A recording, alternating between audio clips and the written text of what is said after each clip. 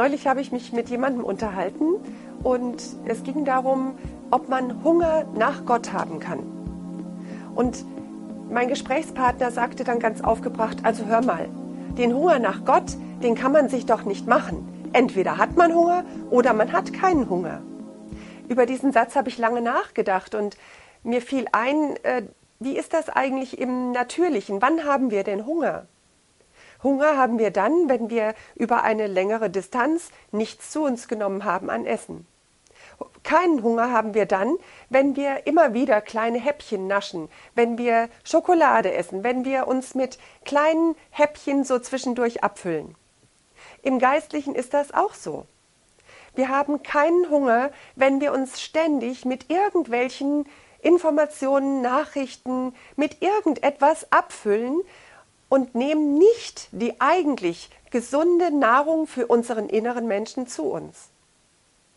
Wir ernähren unseren inneren Menschen nicht gut, wenn wir diese Nahrung aus dem Wort Gottes nicht zu uns nehmen, sondern immer wieder nach anderen Ersatzdingen suchen.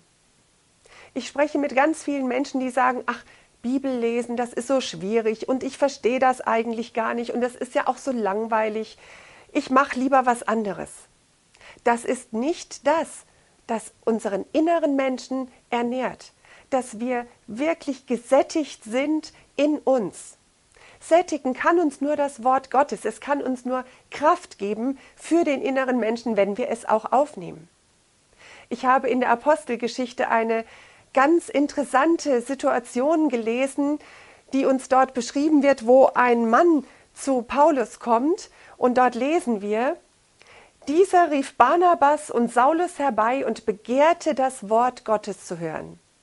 Dieser Mann begehrte das Wort Gottes zu hören. Er hatte ein Empfinden in sich, was ihn dazu getrieben hat, etwas mehr über dieses Wort Gottes zu hören ich möchte dir einfach wieder neu Geschmack machen auf das Wort Gottes, dass du ganz neu deine Bibel nimmst und liest. Ich schätze und liebe die Bibel.